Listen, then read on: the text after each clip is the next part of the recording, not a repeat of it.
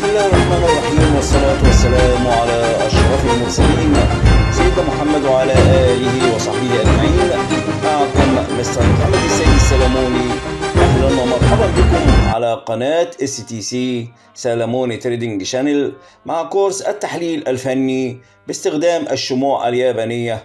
عنوان محاضرة اليوم أنواع ال doji وتأثيره على حركة الأسعار. أولاً ما معنى شمعة الدوجي؟ الدوجي هو عبارة عن شمعة يكون فيها سعر الفتح مطابق تماماً سعر الغلق مع وجود ظلال متفاوتة في الطول كما توجد شموع أخرى شبيهة بالدوجي وتعتبر لها نفس خصائص الدوجي والتأثير على الأسعار إلا أنها تكون غير مثالية وهناك معلومات عامة هامة تشترك فيها جميع أنواع الدوجي رقم واحد ظهور الدوجي بعد اتجاه سعري واضح يدل على الحيرة واحتمالية الانعكاس تعتمد على الشمعة التي بعد الدوجي ما معنى هذا الكلام؟ تخيل معي اتجاه صاعد ثم تشكلت معي شمعة الدوجي ما معنى الدوجي في اللحظة التي يتشكل فيها؟ في هذه اللحظة الدوجي يعبر عن الحيرة ومسار غير واضح للأسعار وكل شيء محتمل الحدوث بعد الدوجي لكن بتبقى فيه احتمالية للانعكاس أكثر من الاستمرار وتعتمد هذه الاحتمالية على الشمعة التي تأتي بعد شمعة الدوجي. يعني الشمعة التي تأتي بعد الدوجي هي التي سوف تفصل في الموضوع وهي اللي هتعرفني إذا كان فيه احتمالية للانعكاس أو لا؟ وتسمى شمعة التأكيد. إذا رجعت وأغلقت أسفل ظل شمعة الدوجي هنا بيكون عندي احتمالية أكبر للانعكاس إلى أسفل ويتغير الاتجاه من صاعد إلى هابط بينما إذا ارتفعت وأغلقت فوق الظل العلوي لشمعة الدوجي في هذه الحالة يكون عندي احتمالية لاستمرار الاتجاه على ما كان عليه وهو الصعود. رقم اثنين إذا أغلقت الشمعة الموالية للدوجي بعده وفي نفس الاتجاه السابق فهنا يدل على الاستمرار المحتمل والعكس صحيح. يعني إذا كان عندي اتجاه صاعد وجاءت شمعة الدوجي والشمعة التي جاءت بعده أغلقت فوقه بمعنى أنها مشابهة للاتجاه السابق في هذه الحالة. بيكون عندي احتمالية أكبر للاستمرار والعكس صحيح. في حالة النزول إذا تشكل معي شمع الدوجي وبعدين جت شمعة أغلقت تحت شمعة الدوجي هنا بيكون عندي احتمالية أكبر في الاستمرار وليس في الانعكاس. رقم ثلاثة ظهور الدوجي عند القمم يعطي دلالة انعكاسية أكبر من تواجده عند القيعان. معنى هذا الكلام أن الدوجي ممكن نلاقيه موجود في القمم وممكن نلاقيه موجود في القيعان مفيش أي مشكلة. لكن لاحظنا على الشرط أن وجوده في القمم يعطي احتمالية على الانعكاس بشكل قوي وهذا الكلام ينطبق على جميع أنواع الدوجي اللي هندرسها. رقم أربعة الدوجي يلعب دور مهم جدا كمستوى دعم ومقاومة. يعني المستويات اللي بيكون فيها دعم ويجي عندي فيها دوجي هذه ممكن جدا تعكس الأسعار وترتد الأسعار من عندها إلى أعلى ويتغير الاتجاه من هابط إلى صاعد. ونفس الشيء في أماكن المقاومة. إذا شكل السعر دوجي عند مستويات المقاومة فده برضو بيدي احتمالية كبيرة للارتداد إلى أسفل وعكس الاتجاه من صاعد إلى هابط. رقم خمسة ودي نقطة مهمة جدا وهي إذا ظهر الدوجي بعد سلسلة من الشموع الصغيرة جدا يفقد معناه إلى حد ما وتصبح الفائدة منه تكاد تكون منعدمة. في هذه الحالة مش هقدر أعتبره إنه بيدل على الحيرة ولا هيعكس الاتجاه ولا هيخلي الاتجاه يستمر زي ما هو أم لا. هذا يعني إني لو كان عندي اتجاه صاعد وبعدين بدأت ألاحظ أن الشموع أصبحت أجسامها صغيرة جدا ويتخللها دوجي. في الحالة دي مش هقدر أحكم على الدوجي على إنه إشارة انعكاسية أو إشارة استمرارية. في هذه الحالة يفضل إن إحنا ننتظر السعر يتعدى هذه الشموع ويصبح فيه زخم عشان نقدر ناخد قرار من خلال شمعة الدوجي. هذا الكلام معناه أنه مهم جدا إن أنا أشوف الدوجي بعد شموع كبيرة. في هذه الحالة بيكون له تأثير وأهمية. إنما لو كان بعد سلسلة من الشموع القصيرة الصغيرة في هذه الحالة يفقد معناه ويفقد دلالته. رقم ستة النقطة الأخيرة في المعلومات المشتركة لجميع شموع الدوجي. أن الدوجي على الفواصل الزمنية الأقل من 30 دقيقة يعد بلا جدوى. يعني إذا كنت تتداول على frame ربع ساعة أو خمس دقايق أو حتى دقيقة مش هتقدر تحكم على الدوجي كنقطة دخول. أنا في الحالة دي ممكن أحلل باستخدامه بس ما أقدرش في الفريمات اللي أقل من نص ساعة أعتمد عليه كنقطة دخول وأتداول من بعده. طيب ما هي أنواع الدوجي في الشموع اليابانية؟ عندنا ثلاث أنواع من الدوجي.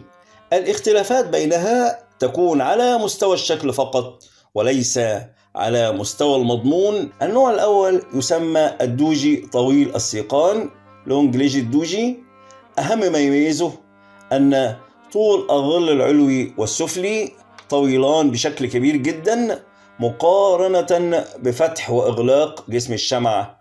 يعني لو لاحظنا أن مستويات الظلال فوق وأسفل جسم الدوجي تكون طويلة جدا وبشكل واضح وأحيانا يستثنى أحد الظلين من الطول يعني مش شرط يكون كل من الظلان طويلان المهم بيكون أحدهما طويل وليس بالشرط أن يتساوى كل من الظلين في الطول. لكن في الحالة المثالية بيكون كلا من الظلين طويلين. في حالة خاصة للدوجي طويل السيقان وبنعتبرها لها نفس الخواص في التحليل الفني وهي أن الظلان يكونان طويلان جدا ولكن بدلا من أن يغلق السعر على نفس المستوى في الحالة الأولى هنلاقي الشمعة في الحالة دي لها جسم واضح إلى حد ما لكنه صغير بالمقارنة بذيول الشمعة هذه أيضا تعتبر شمعة دوجي طويل السيقان بغض النظر عن اللون.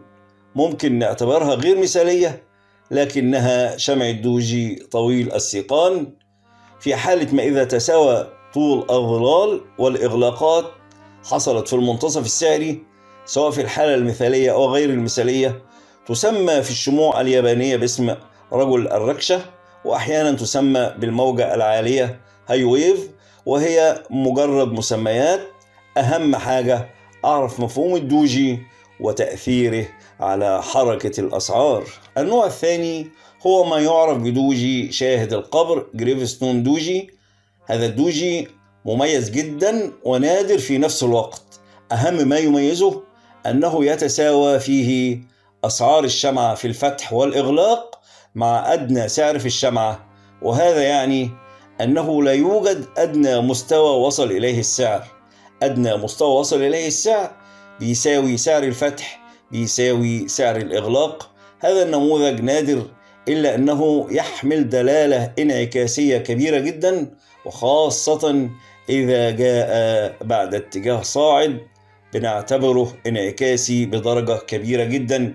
يعني لو كان عندي اتجاه صاعد وظهر دوجي شاهد القبر ففي احتمالية كبيرة جدا. لعكس الاتجاه من صاعد إلى هابط ولكن برضو مهم جدا إن إحنا نستنى الشمعة التي تغلق بعد الدوجي. إذا أغلقت أسفل منه بعد اتجاه صاعد فهذا معناه أنه فيه احتمالية لعكس هذا الاتجاه من صاعد إلى هابط بينما إذا أغلقت أعلى منه فهذا فيه دلالة على الاستمرار في نفس الاتجاه الصاعد. إذا كان الاتجاه الأول اتجاه صاعد. هذه المعلومات سوف تساعدنا كثيرا فيما بعد لما نتعرض لمحاضرة الكسور الكاذبة والكسور الصحيحة. في ملحوظة مهمة جدا أحب أقولها. إذا عكس وضع نموذج شاهد القبر يصبح اسمه dragonfly doji أو شمعة الدبور أو الدبور الطائر. النوع الثالث والأخير من شموع الدوجي هو دوجي ثلاثي النجوم tri-star doji وهو عبارة عن ثلاث شموع دوجي تأتي وراء بعض وكما هو موضح على الشرط دي تعتبر الحالة المثالية له. يعني مش مهم نوعها ممكن هذه الشموع تيجي من أي نوع من الأنواع اللي إحنا اتكلمنا عنها. المهم أن مجيء هذه الشموع ورا بعض تعطي دلالة قوية جدا على انعكاس الأسعار. وهي كما قلنا نموذج نادر يعني نادر جدا إنك تلاقي ثلاث دوجي ورا بعض بكامل الصفات بيكون فيها سعر الفتح بيساوي سعر الغلق. ولكن في المعهود في هذا النموذج على الشرط إنك تلاقيه مشترك وتلاقيه بيتكون من كذا نوع من أنواع الدوجي. والآن مع أمثلة عملية على الشرط كتطبيق على شمعة الدوجي بجميع أنواعها. طيب لو حبينا ناخد أمثلة تطبيقية على هذا النموذج لو تلاحظ معي في هذه المنطقة عندي دوجي أو ما يسمى بشبيه الدوجي لكن يعتبر دوجي والذي يفصل في اعتباره دوجي أم لا هو طول الظلال. كل ما كانت الظلال طويلة بالمقارنة بجسم الشمعة كل ما كان عندي صلاحية لاعتبار الشمعة دوجي وممكن تسبب انعكاس في الاتجاه. ولو تلاحظ إنه كان عندي اتجاه صاعد ثم تشكل معي دوجي في هذه المنطقة السعرية. طيب عشان أتداول لازم أستنى الشمعة التي تغلق بعد الدوجي. لاحظ أنه عندما أغلقت هذه الشمعة فوق المستويات العلوية للدوجي أصبح الاتجاه استمراري وكمل صعود إلى أعلى. في نفس الاتجاه بدون أي مشاكل. أهم حاجة أستنى شمعة التأكيد اللي بتيجي بعد الدوجي. يعني إذا كان الاتجاه صاعد وجاءت أمامي شمع الدوجي مثالي في هذه الحالة هنا أنا مش هقدر أحكم أنه سوف يعكس الاتجاه أم لا. عشان كده أنا لازم أستنى أشوف الشمعة اللي هتيجي بعد شمعة الدوجي هيكون موقفها إيه. إذا أغلقت هذه الشمعة فوق هذا المستوى أي فوق الظل العلوي لشمعة الدوجي فده بيديني تأكيد على استمرار الصعود لأن الاتجاه اللي كان قبل الدوجي كان صعود. وحدث معي إغلاق فوق الحد العلوي لشمعة الدوجي. عشان كده توقعنا الصعود وفعلا صعد السعر لأعلى ولو بصينا على المثال ده هنلاقي بعدين استمر معي هذا الصعود وتشكل معي نموذج الرجل المشنوق hanging man في هذه المنطقة. ثم شمعة صغيرة جدا ثم جاءت شمعة الدوجي. يبقى عشان أدخل صفقة صحيحة أستنى أشوف الشمعة اللي هتغلق بعد الدوجي. زي المثال اللي قدامي ده الشمعة التي جاءت بعد الدوجي هلاقيها أيضا شمعة رجل مشنوق hanging man ثم شمعة التأكيد التي أغلقت تحت الظل السفلي للدوجي أكدت لي فعلا أن هذا الاتجاه سوف يستمر في الهبوط طيب ممكن حد يسأل سؤال؟ هل أعتمد في دخولي بالبيع على الشمعة التي تغلق تحت أدنى مستوى لظل شمعة الدوجي أم تحت ظل شمعة الرجل المشنوق؟ في كلتا الحالتين مفيش مشكلة. يعني ممكن أعتمد على نقطة دخولي بالبيع سواء أغلقت الشمعة تحت أدنى ظل شمعة الدوجي أو تحت أدنى ظل شمعة الرجل المشنوق. كلاهما صحيح. وكمان من باب المراجعة على نماذج أخرى درسناها أفكرك أن أنا عندي هنا في نفس المستوى وفي نفس المنطقة نموذج قمة ملقاط tweezers top وهو أيضا نموذج عاكس للاتجاه. إذا جميع هذه العوامل المجتمعة في هذه المنطقة أدت إلى عكس الاتجاه وواضح أنه انعكاس قوي جدا نظرا لتجمع عدة عوامل ونماذج عاكسة للاتجاه سواء الدوجي أو الرجل المشنوق أو قمة الملقاط المثال التالي لو تلاحظ معي في هذا المثال في هذه المنطقة التي عليها شكل بيضاوي تشكل معي شمع الدوجي مثالية جدا وممكن تلاقيها على الشرط لونها مختلف مش شرط تكون أحمر أو أخضر. طيب عشان أتداول بعد ظهور شمعة الدوجي لازم أستنى الشمعة التي تيجي من بعده. وواضح أنها أغلقت فوق الظل العلوي لشمعة الدوجي. عشان كده حصل عندي انعكاس في الأسعار من هبوط إلى صعود. عشان كده ممكن تدخل صفقة شراء مع المشترين. بس بعد شمعة التأكيد التي أغلقت فوق مستوى ظل شمعة الدوجي وهناك ملحوظة مهمة جدا. الدوجي إذا ظهر عند مستويات دعم أو مقاومة فبيكون ده مهم جدا ويديني دلالة أكبر على عكس الاتجاه.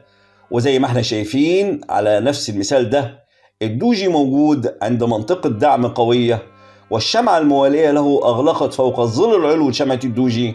عشان كده حصل عندي انعكاس في الاتجاه بشكل قوي جدا. المثال التالي على نفس الشرط لو تلاحظ تكون عندي مرة أخرى شمعة دوجي طب ليه أنا اعتبرتها دوجي على الرغم من أن ظلها العلوي غير طويل بالمقارنة بظلها السفلي وجسمها إلى حد ما غير صغير. لأن شمعة الدوجي طويلة السيقان legged doji ليس شرطا أن يكون كلا من الظلين طويل جدا. يكفي أن يكون أحد الظلال طويل بشكل مبالغ فيه بالمقارنة بجسم الشمعة. حتى كمان لو تلاحظ أن الظل العلوي أكبر من جسم الشمعة. على هذا الأساس أنا اعتبرته دوجي بدون أي مشاكل.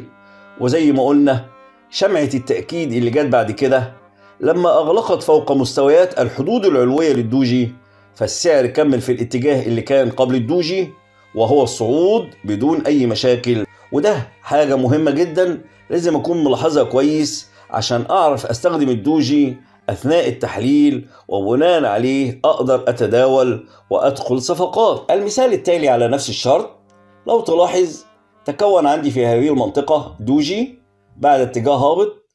حتى لو كان هذا الاتجاه قصير مفيش أي مشكلة. يعني في هذه الحالة الاتجاه قصير minor trend عبارة عن تصحيح مقارنة بالاتجاه العام السابق. ولكن لما بصله في ال minor trend هلاقي اتجاه هابط ظهرت في نهايته شموع دوجي عكست الاتجاه وخلت الأسعار تصعد لأعلى. أما المثال التالي على نفس الشرط هذه هي الشمعة اللي كنت أحب أنبه عليها. هذه المنطقة لو تلاحظ اتشكل معي دوجي فيها ولكن السعر لم ينجح في الإغلاق أسفل الظل السفلي للدوجي وبالتالي لم يحدث الانعكاس بينما بمجرد أن أغلقت الشمعة الخضراء فوق الظل العلوي للدوجي كمل استمرار الأسعار في الصعود بدون أي مشاكل. ولكن أهم حاجة عايز أقولها في هذا المثال إن أنا عايزك تبص على الشمعة الصغيرة جدا الموجودة في هذه المنطقة. هذه هي شمعة شاهد القبر gravestone doji. بعده لو تلاحظ جت شمعة الشهاب shooting star ومن بعد كده الاتجاه هبط هبوطا قويا إلى أسفل. وحدث نزول حاد في الأسعار. أما المثال التالي بعد هذا النزول الحاد حدث صعود في الأسعار مرة أخرى نتيجة وجود المطرقة المقلوبة inverted hammer وهي نموذج عاكس للاتجاه من هابط إلى صاعد.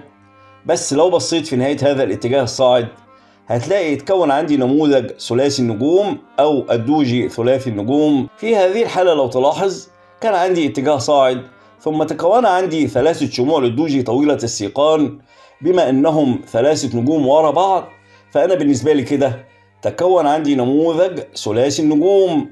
حتى لو هذه ال doji ليست مثالية بنسبة 100% لكن أنا بما إنها تعتبر doji فيبقى النموذج صحيح. فسواء لقيتها بنفس الشكل أو بشكل مختلط من نجوم ال doji بمجرد إنهم يجوا ورا بعض فده بالنسبة لي نموذج انعكاسي وأتوقع من بعده انهيار في الأسعار وخصوصا إذا كان موجود في قمة. كمان لو تلاحظ إن السعر كان في اتجاه صاعد ثم تكون عندي هذا النموذج نموذج ثلاثي النجوم هبط السعر بعده مباشرة. ممكن تدخل مباشرة صفقة بيع ويفضل إنك تستنى شمعة التأكيد التي تغلق تحت الظل السفلي لجميع مستويات شموع الدوجي ثلاثي النجوم وإلى هنا نكون قد انتهينا من محاضرة اليوم وإلى أن نلتقي في المحاضرة القادمة. لكم خالص تحياتي. كان معكم مستر محمد السيد السلموني كبير معلمي الرياضيات والإحصاء. ومحلل فني وسيكولوجي في سوق المال والأعمال وأذكر نفسي وإياكم بحديث رسول الله صلى الله عليه وسلم في وجوب التوكل على الله. قال صلى الله عليه وسلم لو أنكم توكلتم على الله حق توكله لرزقكم كما يرزق الطير. تغدو خماصا وتروح بطانا.